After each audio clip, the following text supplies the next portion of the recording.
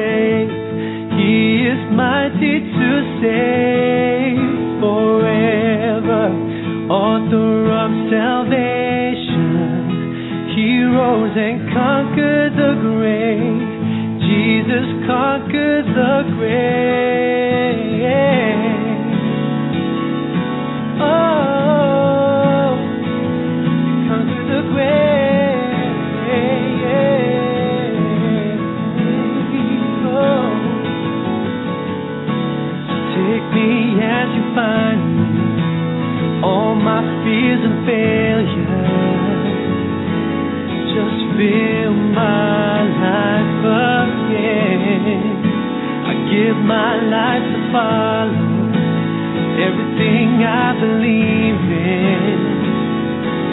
Now I surrender.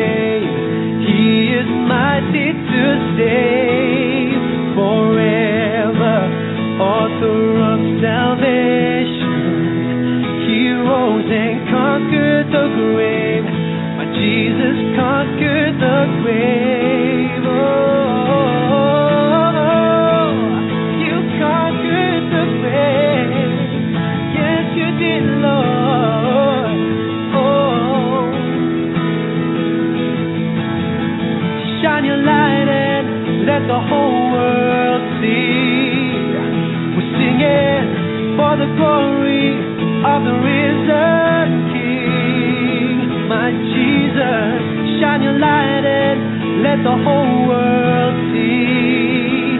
We're singing for the glory of the risen King. Oh, Savior, He can move the mountains. My God is mighty to save.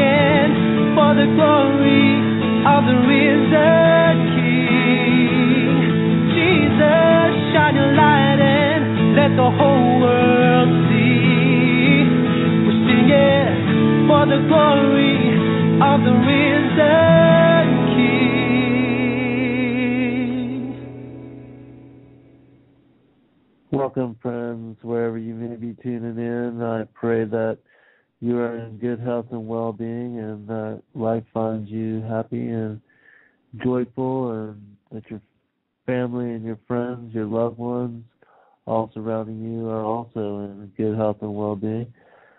I uh, pray for all our sanity and the insanity of this crazy world.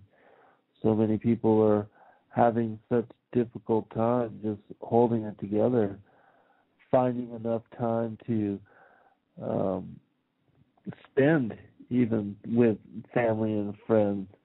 Uh, most people don't have any free time or any spare time to even study the scripture or pursue and develop relationship with the Father and the Son.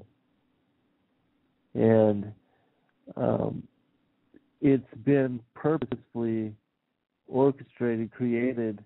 Life has been made so difficult so that most would have to spend all their time just surviving, just trying to get enough to eat, just trying to find a comfortable place to lay down your head and you know and then being able to take care of others satan has an agenda to destroy family and destroy the unity of it and to cause um families to become disjointed in such a way that it's a focus on individuality. And that certainly is the truth here in America where most people have their lives and their focus and don't even have time enough to sit down as group and share a meal. You know, most people are just sharing hellos and goodbyes as they're come and go uh, through the different routines that each one of us are, you know, are running through as we um, move through life. And and so I pray for peace and a moment of serenity for all of you that you can find this in in your everyday. Because not many people do. Not many people even have the time to slow down enough to really rest and recover and allow the body to heal in such a way that you can, you know, continue on with the the cycle.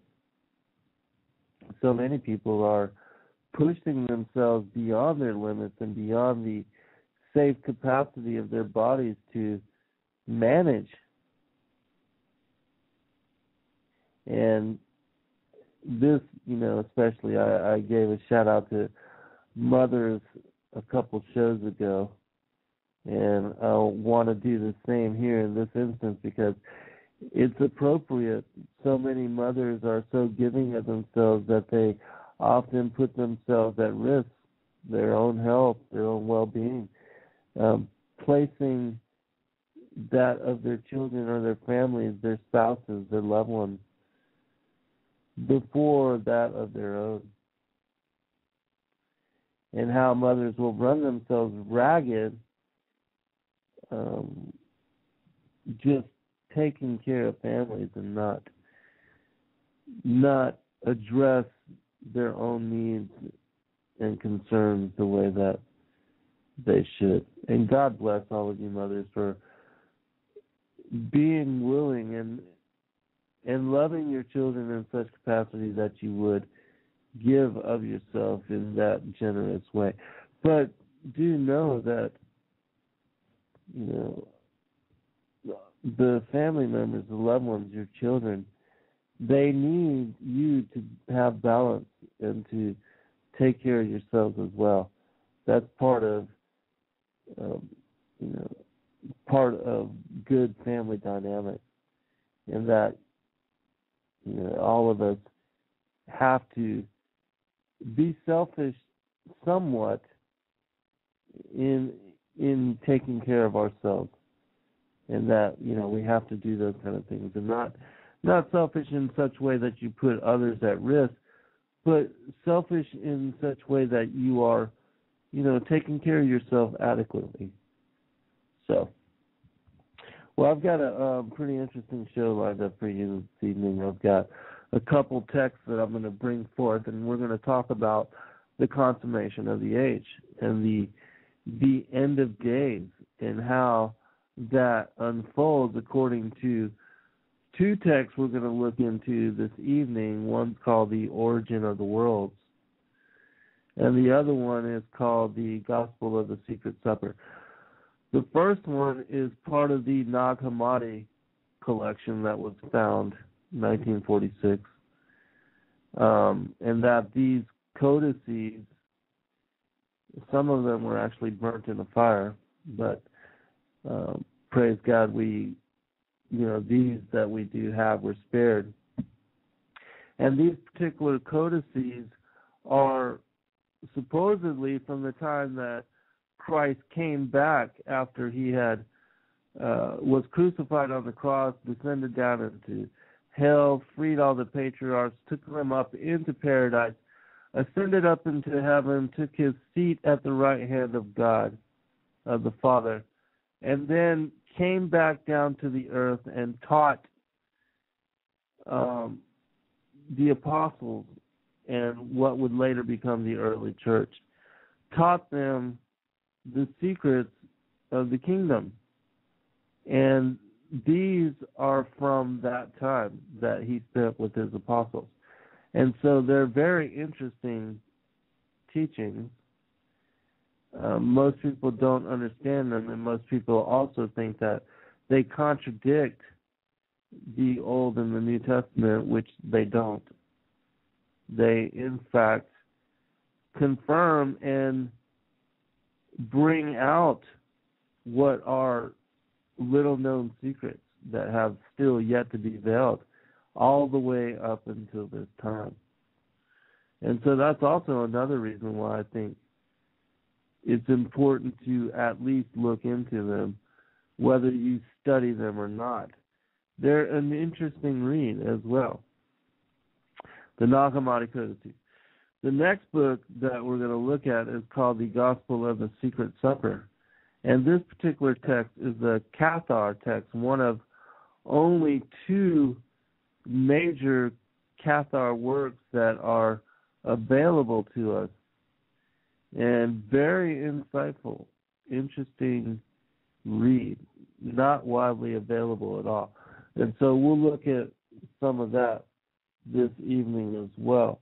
Uh, but before we do, I want to go into an article. I want to read an article that came out just a couple days ago, which will it is confirming witness for a lot of the things that we've been teaching here on this particular show, because we also cover the New World Order, uh, the governmental conspiracies, the conspiracy realities that we're dealing with as a world as a people, as a as a collective.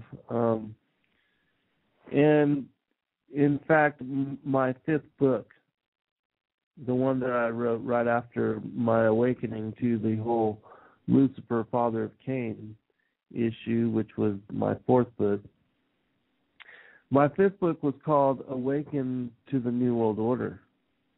And it's basically a compilation of articles that I wrote during the time of my awakening to what is the strange nature of reality. And it's something that each one of us has to go through when we unveil truth in its ugly form and then have to learn to accept it. Um, and then in accepting it, can then make the necessary changes to implement life in such a way that you can choose to, if you so desire, make others aware and share, you know, these things with those that, in my opinion, are ready for it. Because when I first woke up, I wanted to share this with everybody. I wanted to go shout it from the rooftops and uh, shake people by their shoulders, and but you you can't do that.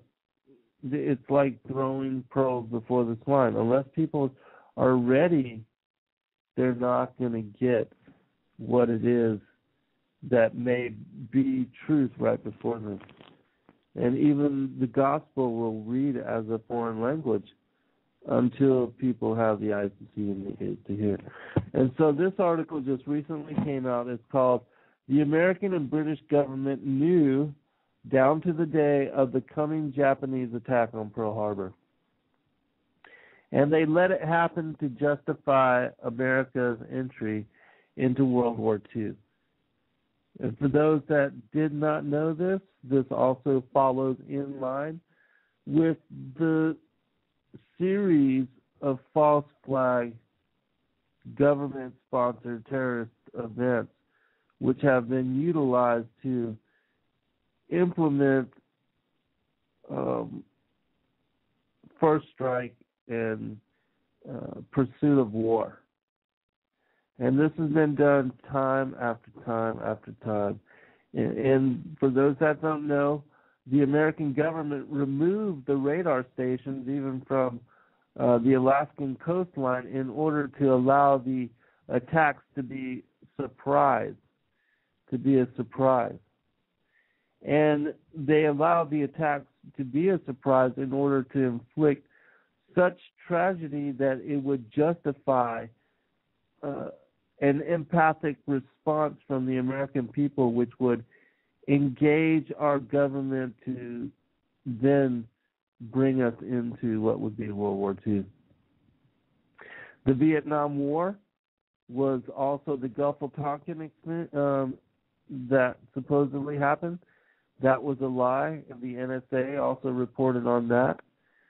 Uh, and so, if you study and you look back into the hidden um, history of government sponsored terror and how it's been utilized by even rulers such as Nero back in the time of Rome, how he utilized blamed the Christians for burning down Rome as a uh, premise to round up and attack and kill and slaughter Christians.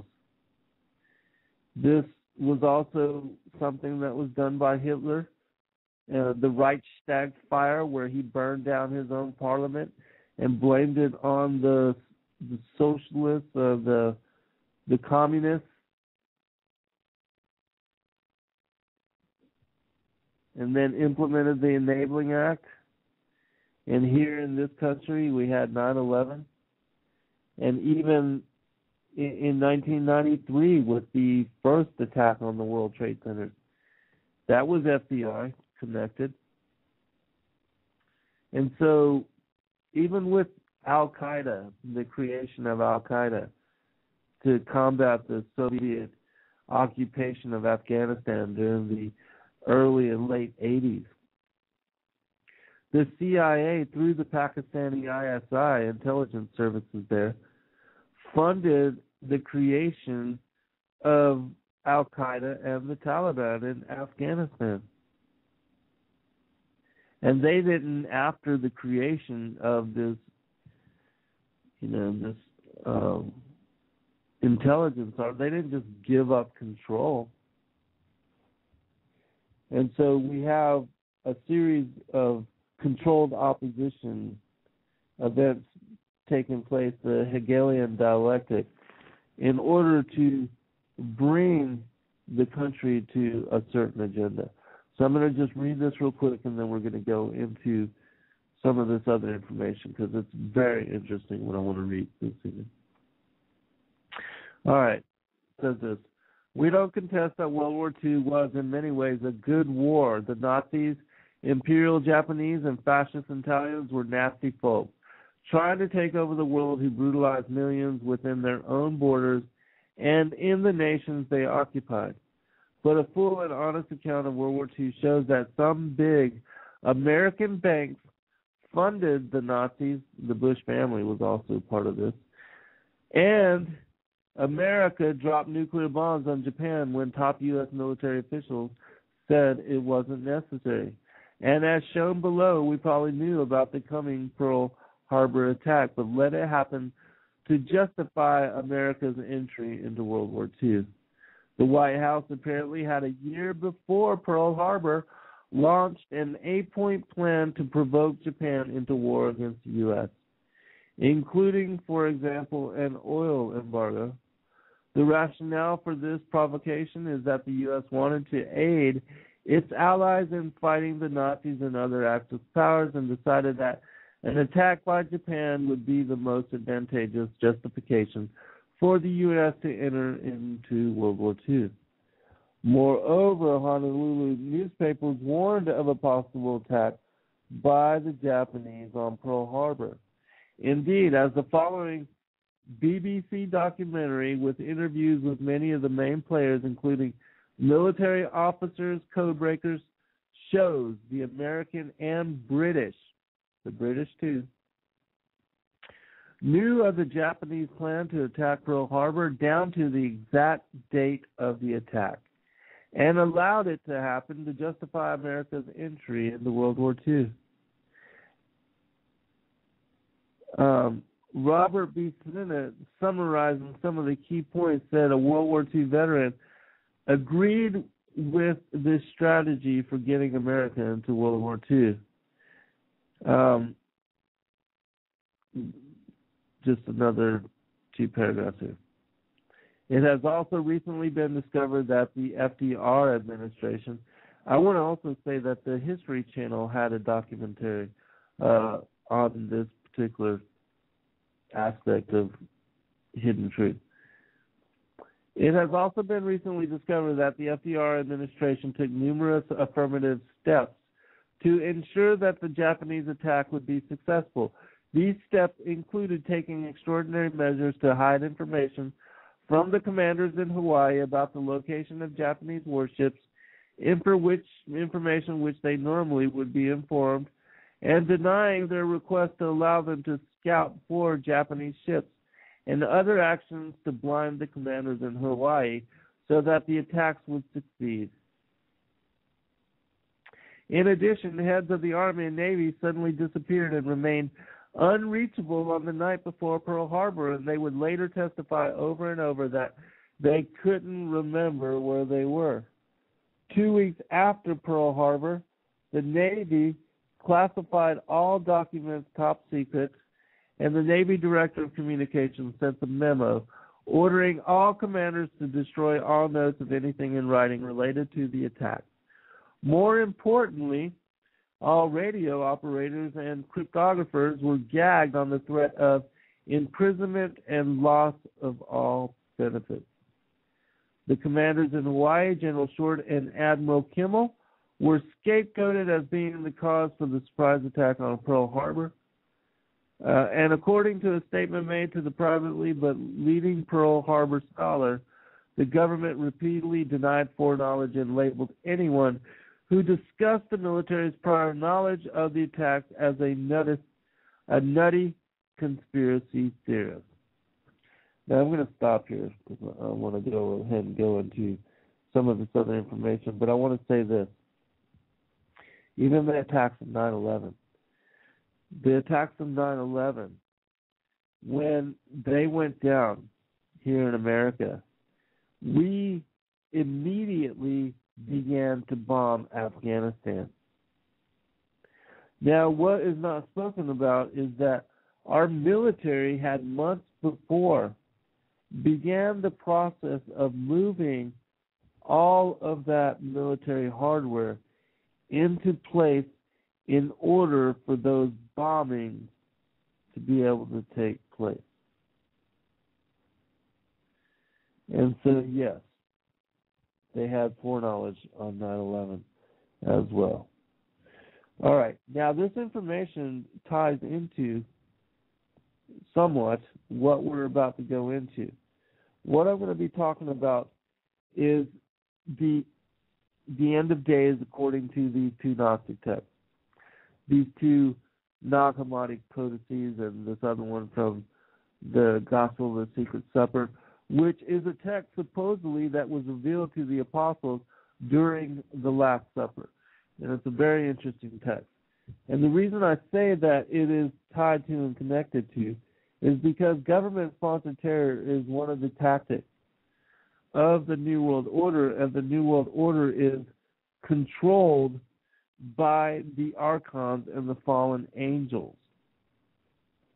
And what is interesting about these uh, these texts that I'm going to go into is that Yahushua, Savior Messiah, he speaks about the fallen ones, the archons, these rulers of darkness, specifically labeling them and gives detail on their existence and how to combat them, which is another reason why I think these texts should be studied or at least read into.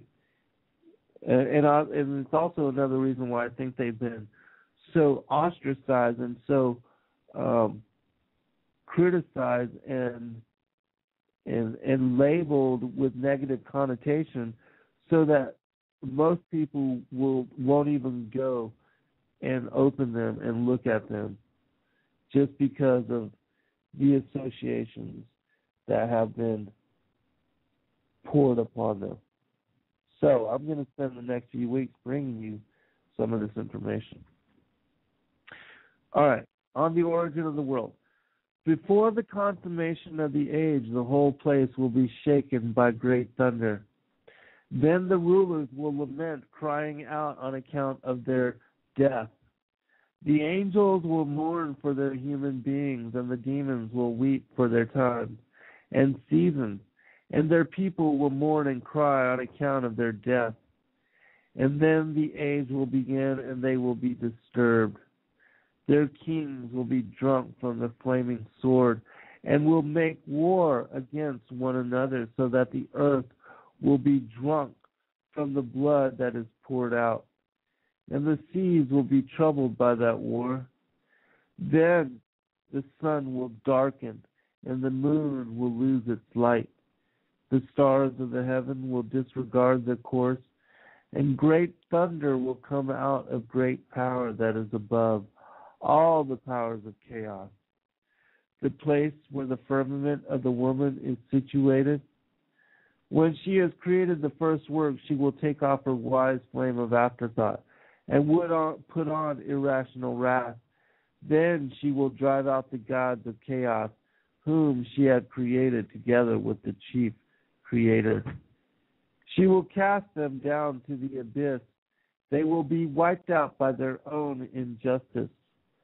For they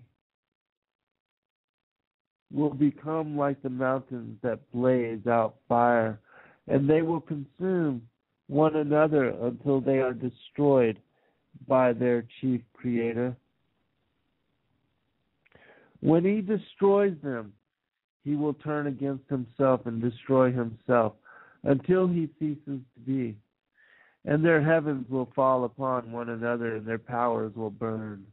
The realms will also be overthrown, and the chief creator's heaven will fall and split in two.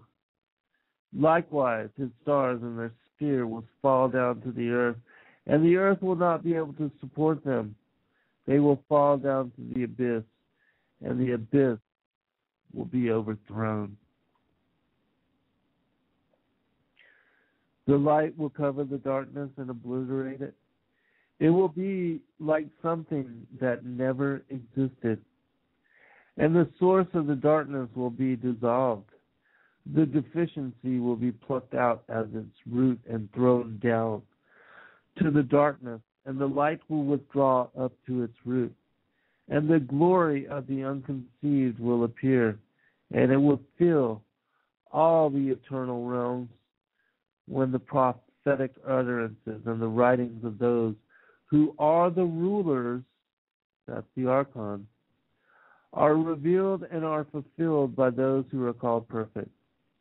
Those who were not perfected in the unconceived Father will receive their glories in their realms and in the kingdoms of the immortals, but they will not ever enter the kingless realm.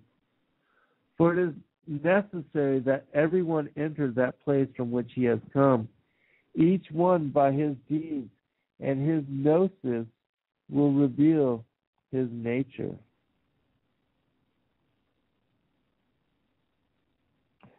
All right, I'm going to skip to the Gnostic of the Secret Supper This is going to be a very interesting book for those that have never heard about it. And it's only recently that it's been available on the web, and it's only available through a book called the um, Gnostic Bible. And in that book, you can find this particular text. Give me just a minute to find it here. Um, but what is interesting also about this text is that uh, it speaks about, again, those truths that not many people know about. Like it gives confirmation of Cain uh, in this particular text. Here it is, actually. All right. And I probably do have time to read the whole thing, so but let me go ahead and check this one thing real quick. All right, this is the um, the Gospel of the Secret Supper. Very interesting, very controversial. I'm not gonna I'm gonna make some commentary, but I'm gonna just try to bring it to you as it reads, so that you can hear it in its entirety. It's very interesting text. And then the, the depending on time, if I have to, I'll skip to the last part too, because it has a very interesting take on the end of days, one that I think you should hear. Probably will have to skip some of this, but all right. It says this: Who brought you here? I, John, who am your brother and share with you the tribulation of having shared the kingdom of the skies since I was lying on the chest of our Lord Jesus Christ. Asked him, Lord, who brought you here? He answered me, He who put his hand in the plate with me. So Satan entered him, and he, Judas, had already betrayed me before Satan fell. And I said, Lord, before Satan fell, what was his glory beside your father's? And he told me, such was his glory that he governed the virtues of heaven. As for me, I sat next to my father. Satan was the master of all those who imitated the Father, and his power descended from the sky to the inferno and rose again from the inferno to the throne of the invisible Father. And he observed the glory of him who transformed the skies. And he dreamed of placing his seat on the clouds of heaven because he wanted to be like the very high. Then, having descended into the air, he said to the angel of the air, Open the gates of the air for me. And the angel opened the gates of the air, and he went on his way to the bottom.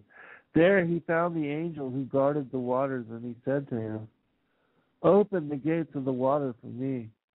And the angel opened the gates of the water. Going ahead, he found the whole face of the earth and saw two fish who were stretched over the waters. They were like two oxen joined together for plowing, and at the invisible Father's order held up the earth from sunset to sunrise. When he descended farther down, he found himself in the presence of clouds weighing on the tidal waves of the sea. He went on until he got to his Osa, which is the principle of fire. After that, he could not descend farther because of the intense flame of the fire. And then Satan came in from behind and filled his own heart with malice. And reaching the angel of the air and the one who was above the waters, he said to them, Everything belongs to me.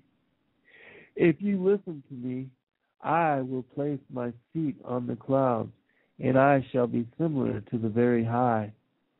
I will withdraw the waters of the upper firmament and assemble all the areas occupied by the sea into one entity of vast sea.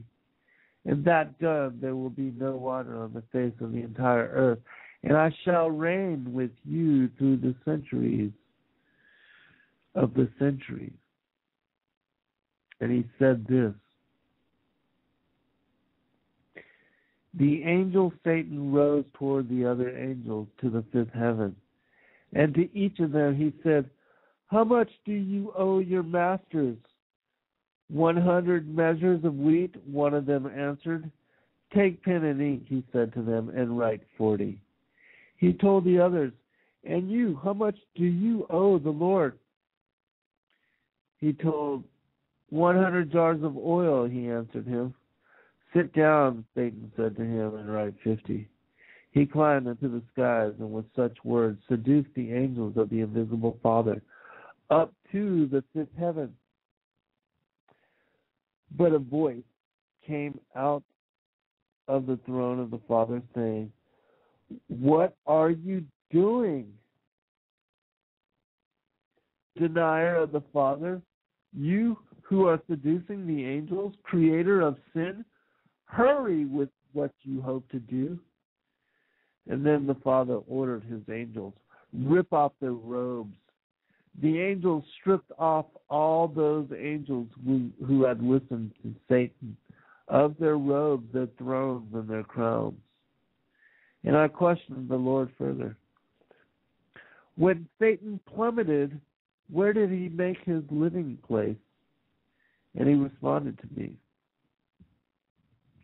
My father transformed him because of his pride, and he withdrew the light from him. His face became like red fire and was fully like that of a man. He dragged with his tail the third part of the angels of God, and he was hurled down from his seat and from his domain in the skies.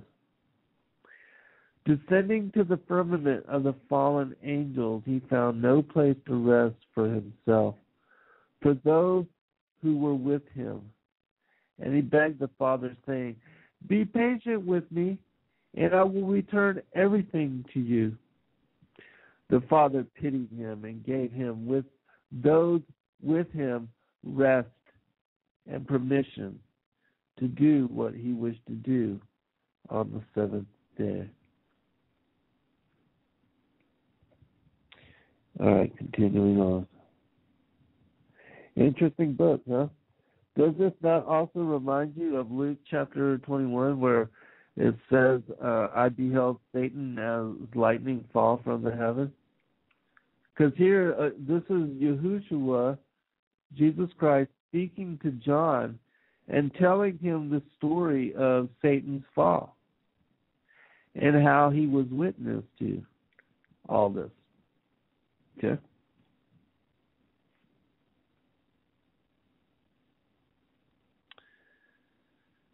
Okay.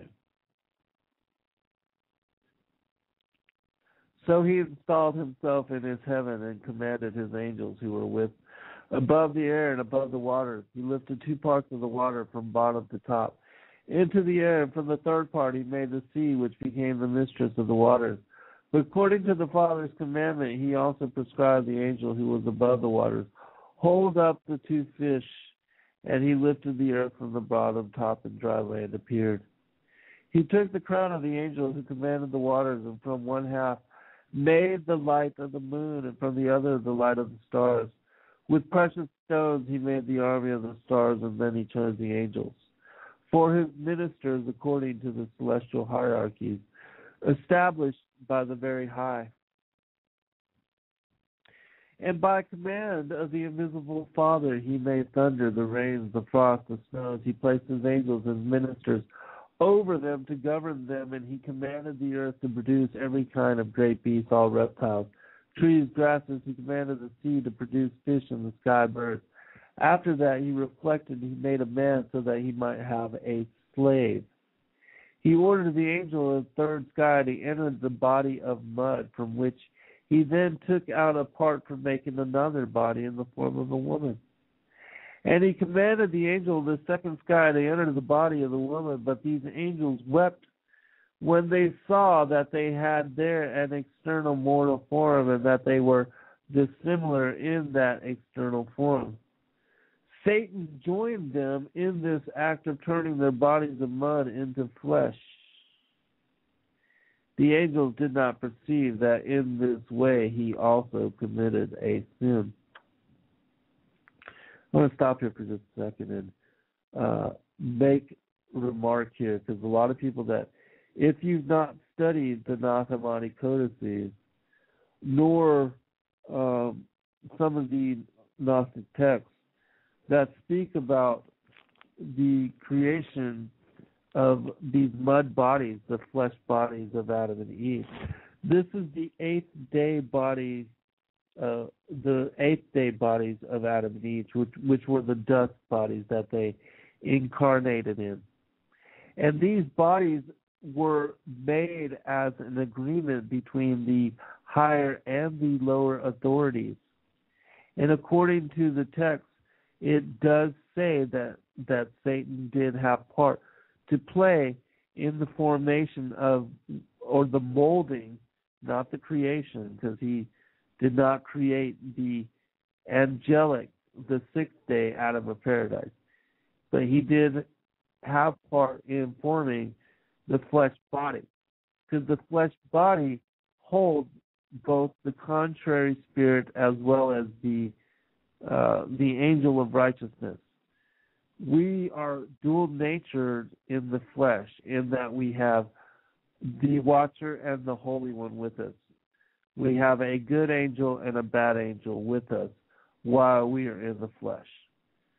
And so, and that's why. It's because our bodies, our flesh bodies, these eighth day bodies, are created as an agreement from both the higher and the lower angels. And if you study the text, it will give more detail about that. But just wanted to clarify that aspect of it. All right, then going into continuing. The announcer of coming evils meditated in his spirit on the way he would fashion paradise, and then he ordered the people to enter it and his angels to lead them to it. The devil planted a reed in the middle of paradise, and in one spit he made the serpent, whom he commanded to live in the reed in such way. The devil concealed his evil design so that he might not know his trickery. And he entered paradise and spoke with them. He said to them, Eat from all the fruit that is found in paradise, but beware of eating the fruit of the knowledge of good and evil. Listen to this part, it's very interesting. However, the devil slipped into the body of the evil serpent and seduced the angel who was in the form of woman. And he spread over her head the powerful desire of sin. And he satiated Eve with his bodily desire while he attended to the serpent's tail. That is why humans are called the children of the devil.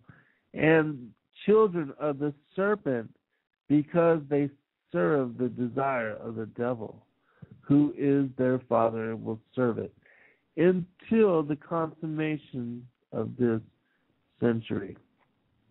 Then I, John, questioned the Lord, how can one say that Adam and Eve were created by God and placed in paradise to obey the Father's orders, but they were then delivered to death? The Lord answered me, Listen, John, beloved of my Father.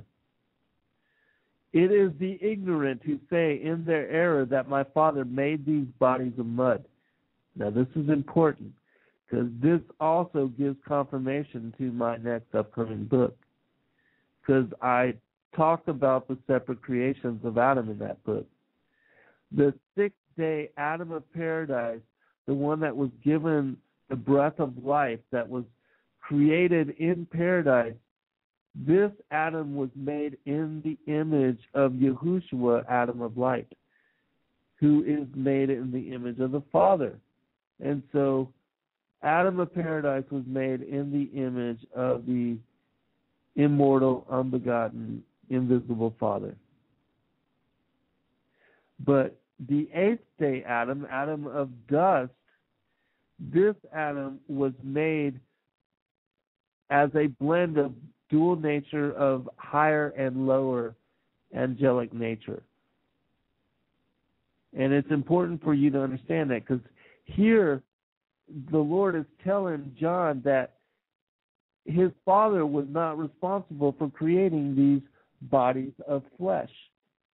And unless you understand the Nag Hammadi stories, the uh, Nag stories, and understand that the Adam of dust, the eighth day Adam, was not in fact created by the Father, but created by the angels of the higher and the lower orders, then you can understand the story.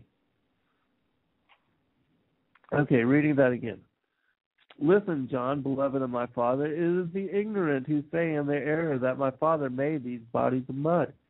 In reality, he created all the virtues of heaven through the Holy Spirit, but it is through their sin that they found themselves with mortal bodies of mud and were consequently turned over to death. What he's talking about here is the sixth day Adam of paradise that was created in paradise, that was given the breath of life, that when they were seduced by Lucifer and tricked to eat of the the tree of the knowledge of good and evil, that's when they lost their immortal bright nature. It was their responsibility that they ended up in bodies of what are termed bodies of mud, mortal bodies of mud here, which are the eighth day bodies of dust that they were placed into after their fall. So you have to understand that there's the difference, there's two, difference between the sixth day Adam of paradise and their immortal bright natures and the flesh bodies that they then transform and inhabit on the eighth day when they are kicked from paradise, placed on the wilderness of the earth, and told to live in a place called the Cave of Treasures. You have to understand the difference. All right, continuing. And again, I, John, questioned the Lord How can a man become born in spirit in a body of flesh? And the Lord answered, Descended from angels, fallen from the sky, that's us, y'all. Okay, this is important too. This gives you confirmation that we were first world age spirit, now incarnated into flesh, says this descended from angels, fallen from the sky, men enter the body of a woman and receive the desire of the flesh. Spirit is born then from the spirit, and flesh from the flesh. So Satan accomplishes his reign in this world and in all nations. He told me further, my, my father permitted him to rule seven days, seven days which are seven centuries. So Satan rules for 7,000 years, which is what I've been telling you for a long time now. So, did you get that? The Lord is telling John here, descended from angels fallen from the sky. That's us. Men enter the body of a woman and receive the desire of the flesh. Spirit is born then from the spirit, and flesh from the flesh. So Satan accomplishes reign in this world and in all nations. That reign is getting us as spiritual beings to be caught up and trapped up in the flesh. That is Satan's rule and reign over this world. He is the king of this world. For the short time that the Lord has allowed him rule. All right, I know I'm quickly running out of time, so I'm going to try to get through this. Okay. And again, I asked the Lord, I said to him, What did he do during all that time? And he told me, From the instant the devil was expelled from the glory of the Father, and was forbidden to take part in the affairs of heaven. He sat on the clouds and sent his ministers, angels burning with fire, down below to the people. He did so from the time of Adam to Enoch. No, we're running out of time. I'm going to try to skip to this last passage. All right, we're going to try to skip to the part where it talks about heaven and hell, the lake of fire. This is important. And then I asked the Lord about the day of judgment. What will be the sign of your coming? He answered me. It will be when the name of the just will be consummated according to the name of the just one, who have been crowned and fallen from the sky. Then Satan will be freed and will leave his prison. Pray to great anger, he will make war on the just, and they will cry to the Lord God in a great voice. And the Lord will immediately command his angels to the sound of the trumpet. The voice of the archangel in the trumpet will be heard from heaven to the inferno. And then the sun will darken and the moon will give no more light. The stars will fall and the four winds will be torn from the foundations. They will make the earth tremble and also the mountains and the hills. Immediately the sky will tremble, the sun darken until the fourth hour. Then will appear the earthly son, and with him all the saintly angels. And then the sun rises, and he will place his seat on the clouds and will sit on the throne of his majesty, with twelve messengers seated on the twelve chairs of glory. The books will be opened, and he will judge the universe according to the elect, from the four winds and the summits of the skies to the corners of the world, and bring them before him. The earthly son will send for the bad demons to bring all the bad nations with him. And he will say to them, Come here, you who say, We have eaten well and drunk and enjoyed the goods of this world. Then he will direct them all before the tribunal, and they will be shaking with terror. And the books of life will be opened, and there will be known the thoughts of all the nations of the impieties. And the Lord will glorify the just in their patience and good deeds. Those who have followed the angelic prescriptions will gain glory, honor, and imperishability. Those who have obeyed the iniquity of the devil will share in anger, indignation, and the torments of anguish. The earthly son will take the elect from the midst of the sinners and say to them, Come, you who are blessed by my Father, receive the kingdom that has been prepared for you since the organization of the world. He will say to the sinners, Go far from me, cursed ones, into the eternal fire that has been prepared for the devil and his angels. Then all the others, seeing that the time has come for the ultimate separation, will pity the sinners in their inferno, who will be there by order of the invisible Father. The souls will leave the prison of the unbelievers, and also my voice will be heard. And there will be no more than one sheepfold and one pastor. There will issue from the depths of the earth a dark gloom, which is the dark gloom of Gehenna of fire and fire will consume the universe from the abysses of the earth to the air of the firmament, and the Lord will rain from the firmament to the infernos of the earth. The lake of fire where the sinners will live is so deep that some uh, that a stone that a thirty year old man lifts and drops to the bottom will barely reach the floor of the lake after three years. Then Satan will be bound with all his troops and placed in the lake of fire.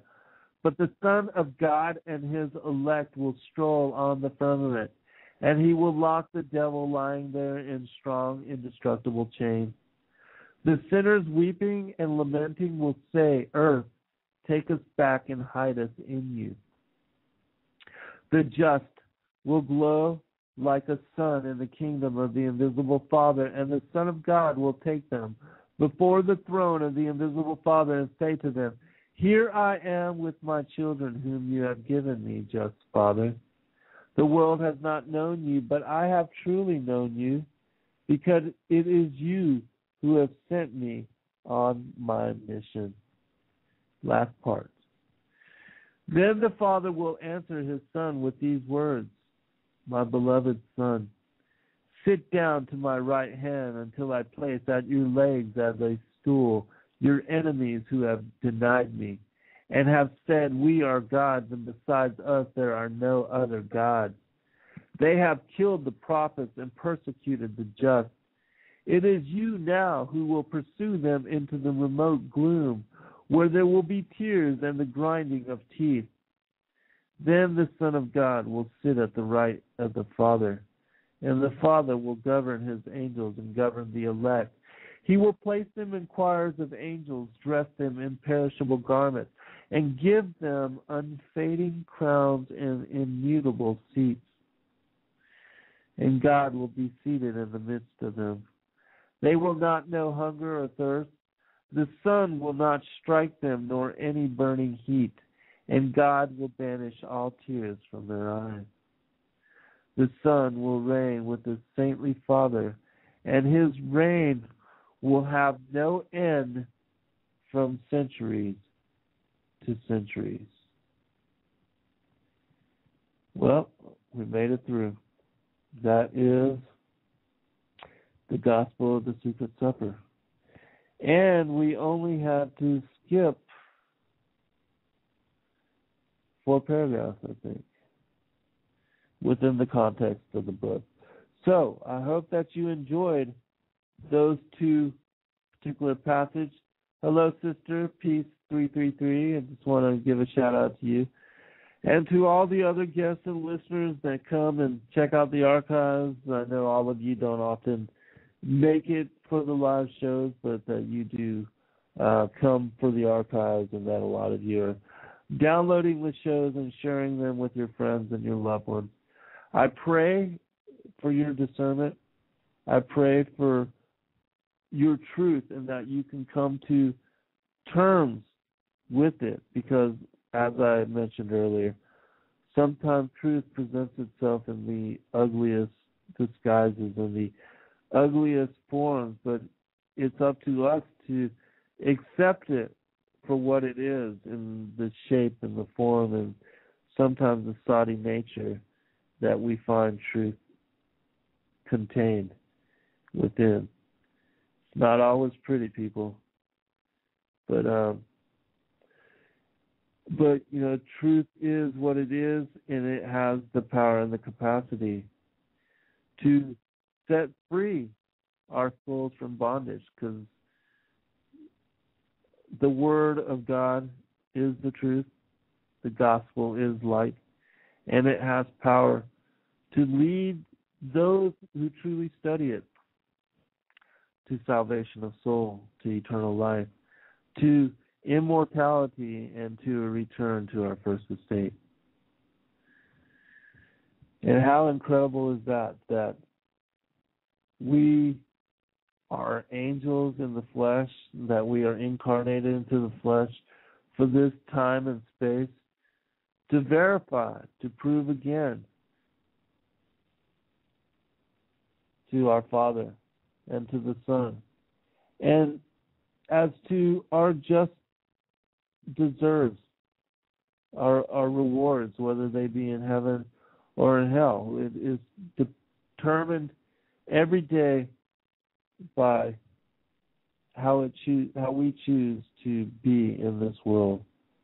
And so I just pray that you all awaken to your own truth and truth so that you too can prepare for those things that are coming because we are dealing with a strange, strange reality. And to verify that, this last little piece. God bless all, and Yahushua, you always been.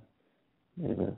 Um, a number of things that uh, I've heard uh, from people in the Pentagon that the buzzword in the in the secret of secrets in the Pentagon is uh, the Sumerian gods are returning, and that's what they're referring to as that whole area uh, uh, that uh, Peter. Wow. Can you repeat that again, just in case anybody missed it? The well, buzzword uh, in in the Pentagon and the you know the military circles that are in the know about the cover up here. Um, the they kind of in whispered tones talk about the return of the Sumerian gods.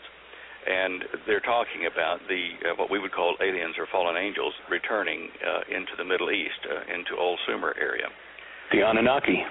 Well, could be. Under think the other ancient names. Do you think that has anything to do with why we're in a Yeah, give a shout out to Voice in the Wilderness as well. God bless all. Take care.